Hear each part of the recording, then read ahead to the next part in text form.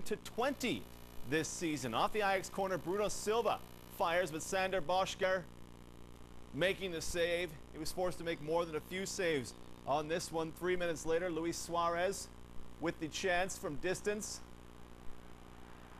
As it's kept in quite nicely, Suarez turns and fires and just wide. Twente came into their own in the second half. Youssef Hersi had three chances in about a 10-minute stretch. First one, a little bit wide.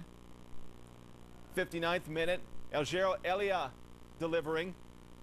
Hersi cuts that one into the side netting.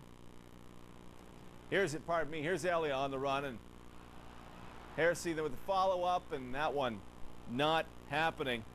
Three chances, no goals, no success. Time running out. Ajax doing everything it can to get that goal back.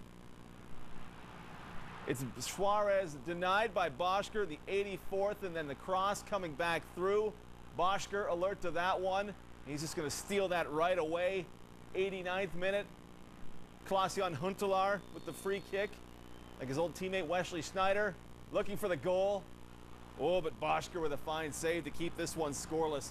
One last chance in the 90th plus four. It's Rasmus Lindgren breaking clear. Boschker racing out to stop him. Twente holds it scoreless, and as such, they will play in the Champions League next season for the first time ever.